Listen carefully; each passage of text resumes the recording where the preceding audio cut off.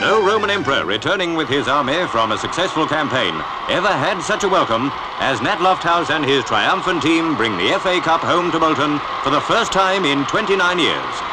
Nobody thinks of working at a time like this. The whole of Bolton's out on the streets to cheer the conquering heroes home. When the team reach the town hall, it's just like the brave days of the 20s when the Wanderers won the cup three times in seven years. Perhaps this is the beginning of another run of victories. Everyone in Bolton believes it is anyway.